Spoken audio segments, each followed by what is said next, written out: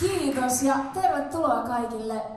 Tämä konsertti on mun Jyväskylän ammattikorkeakoulun musiikkilaulupedagogiopintojen päättökonsertti ja tämä kantaa nimeä Defying Gravity. Tää, tänä iltana kuullaan kokoelmabiisejä, jotka on jollain tavalla näiden neljän vuoden aikana koskettanut mua, vaikuttanut mun elämään laulullisesti tai muuten vaan liittyy johonkin joihinkin ihmisiin tai elämäntilanteisiin, jossa mä oon ollut. Tämä ensimmäinen biisi on musikaalista Waitress, joka on sellainen, mä kuulin sen ensimmäisen kerran tuossa syksyllä, ja mä tiesin heti, että mä haluan tämän biisin. Sitten mä kuuntelin seuraavan biisin, ja mä sit, ei vitsi, mä haluan myös ton biisin. Ja sitten mä kuuntelin kolmannen biisin, ja mä sit, ei vitsi, kyllä toikin on pakko ottaa. Niin tänä iltana kuullaan jopa kolme biisiä tästä musikaalista Ensimmäinen kappale oli nimeltään Opening Up, se on koko musikaalin avausnumero, joten mikä sen parempaa kuin ottaa se tämän illan avausnumeroksi. Seuraava biisi on myös tästä kyseisestä musikaalista, tämän nimi on When He Sees Me.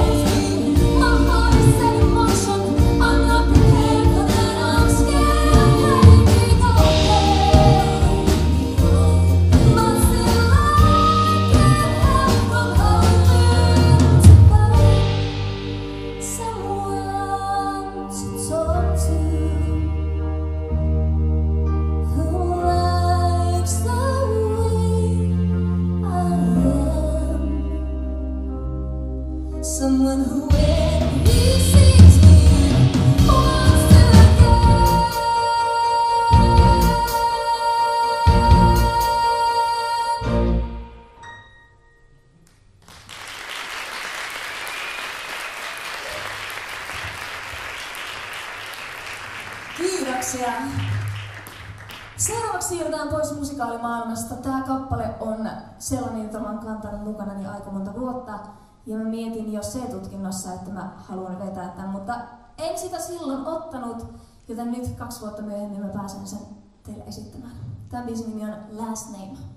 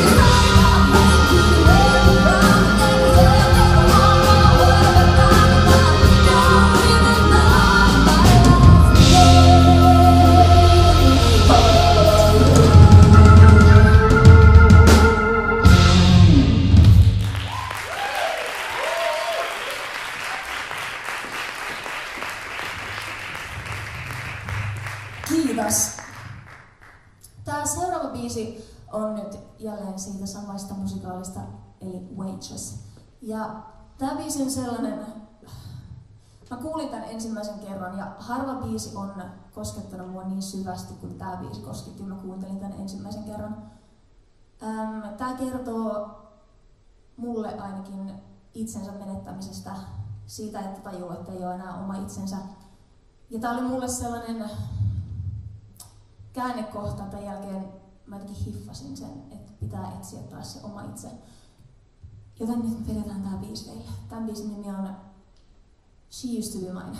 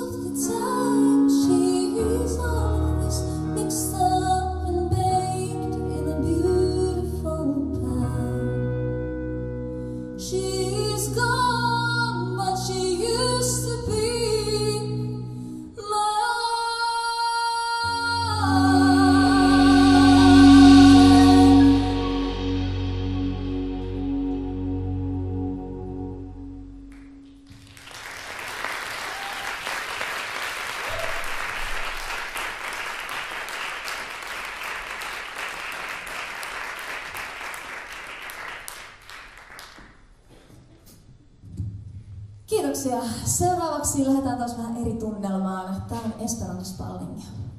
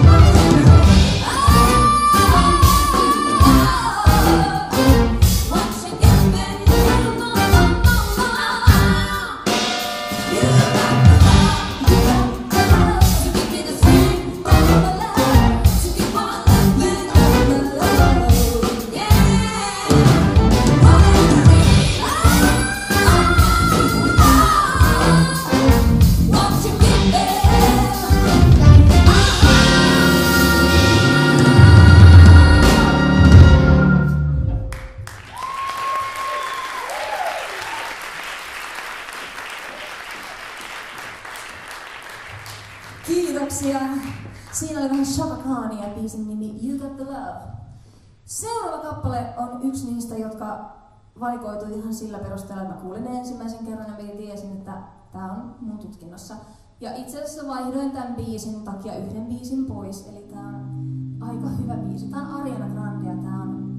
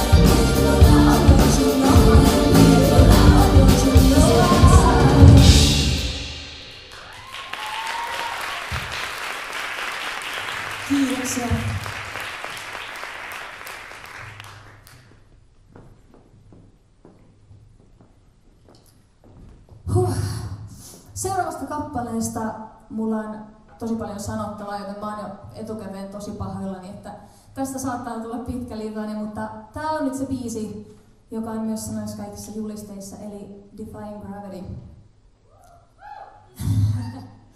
ja tota, tämä biisi on ehkä se, mikä aloitti tämän koko prosessin. Mä tiesin, että mä haluan vetää tämän, koska onhan tämä ihan mieltön biisi, mutta myös se, mistä tämä kertoo. Mulle tämä kertoo itsensä voittamisesta ja siitä, että sun pitää tehdä sitä, sitä mitä sä haluat tehdä, vaikka muut sanoo, että sun ei kannattaisi. Ja tota, tää on mun mielestä ihan mielettömän hyvin tehty biisi ja tää sanoma välittyy tosi hyvin. Toisena haluan äm, nostaa esiin, tää biisi on myös mulle tarina ystävyydestä ja siitä, miten, sun, miten ystävät on, hyvät, tosi ystävät on aina sun tukena. Ja tästä aasinsiltana haluaisin, että annatte ihan mielettömän isot aplodit Marianne Susi, joka tulee laulaa mun kanssa tämän biisin.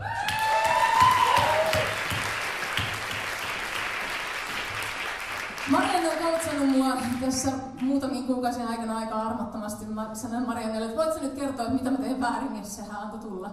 Eli tota, Mariannelle myös iso kiitos tästä kaikesta. Mutta mitään. Mä lakkaan puhumasta ja vedetään tää biisi.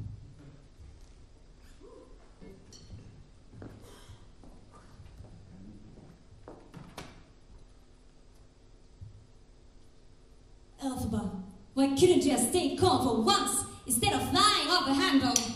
I hope you're happy. I hope you're happy now. I hope you're happy how you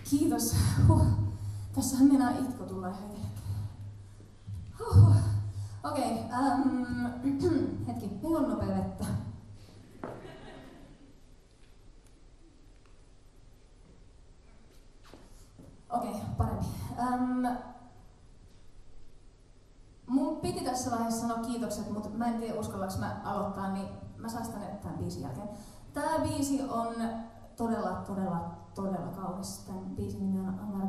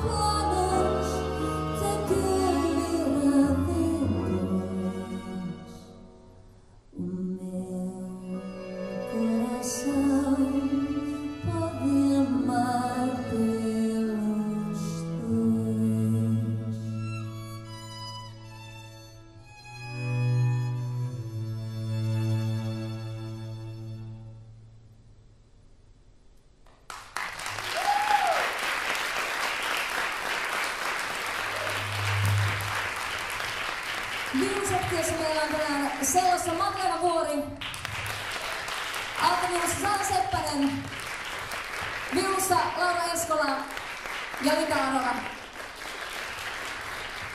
Myöskin äm, edellisestä jäi, jäi tota, sanomatta, me, että meillä oli huilussa tänään Aila Bridman, saksofonissa Aki Saira, pasunassa Heikki Sillanpää ja trumpetissa Antti Kuusela. Mä sanon tosi nopeat kiitokset ennen kuin mennään vikaan biisiin. Ensinnäkin kiitokset Joonatan Jalkanaha miksauksesta. Ja Arto Saarelainen, herra jästäs, Arto Saarelainen valoista. Sekä iso, iso, iso kiitos mun laulunopettajille Atte Kekkonen ja Kaija Kivioja. Sekä tietysti myös mun perhe, mun kaverit, ystävät, läheiset. Ja tää ihmeellisen uskomaton bändi. Voitte antaa ihan mielettömät aplodit tälle bändille. Mahtavaa. Okei. Okay. Tää on meidän viimeinen biisi. Ja tää on semmonen biisi, että en mä oikein tiedä, mitä mä voin tästä sanoa, niin mä toivon, että se välittyy tästä biisistä.